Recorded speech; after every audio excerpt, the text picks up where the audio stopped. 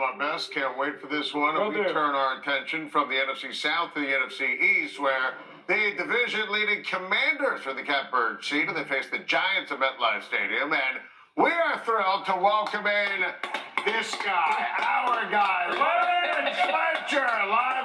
across from us at the Hudson. And London, let's start first with last Sunday. I mean, you're up in the Commanders radio booth. You're calling the action. That was as incredible a moment as we've seen in a very long time.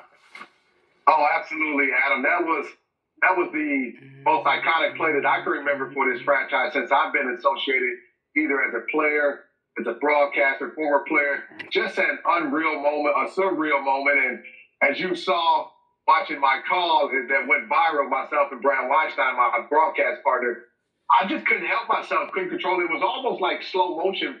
Once I saw Jayden throw the football and I saw it tip, I knew right away that there was nobody boxing out, boxing out Noah Brown, and he was going to catch it. And as you can see, I, I didn't wait. I stepped on Bram's call and just uh, utter chaos, utter, as, as Bram said, mayhem in Washington. What an unbelievable feeling. Sorry, by the way, Kyle, we had to do it to you guys. London, you played linebacker until you were 38 years old. So can you please put into context how impressive the career of 34-year-old Bobby Wagner has been?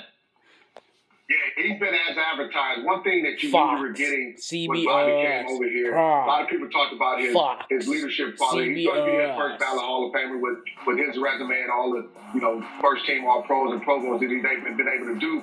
But the thing about Bobby is he's still playing at an extremely high level. So not only is he, does he provide, provide great leadership, but the playmaking ability. Last week was a master class in how you conduct a defense from the middle linebacker position. The Bears, they were coming out with a lot of uh, formations, empty formations, and things like that. And Bobby would make their, their the Washington Commanders check to an empty formation. Then they motion back to another formation. Bobby would would check to a, a new, another defense, and it was a master class because he got everybody on the same same page. There was not a single miscommunication from a defensive standpoint. He's like truly having a coach on the field. So you just said it right there, London. And by the way, it's great to see you. And I hated what I saw from the Commanders, but I love seeing you do what you do in the booth. You sound awesome. You look great.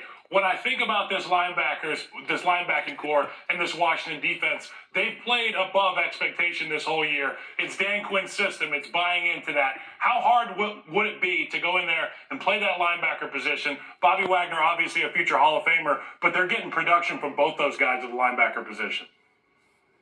What I love about this system and what great coaches do, and, and Joe Whitt Jr., who's defensive coordinator here, first uh, first time defensive coordinator, he talks about having choosing players over plays, and he's going to put his players in the best position to exceed. it. Frankie Luvu, uh, came over here from the Carolina Panthers, not a lot of people knew about him.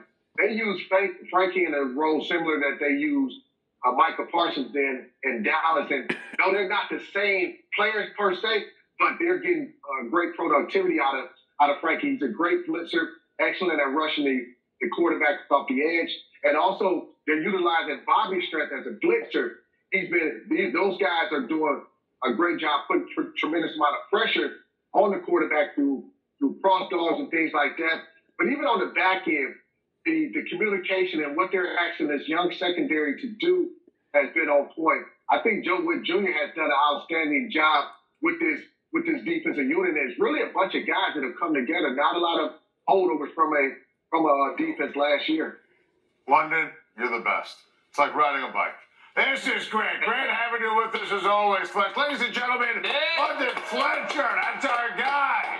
Coming up next are the Chargers ready to unleash Justin Herbert in the dog pound.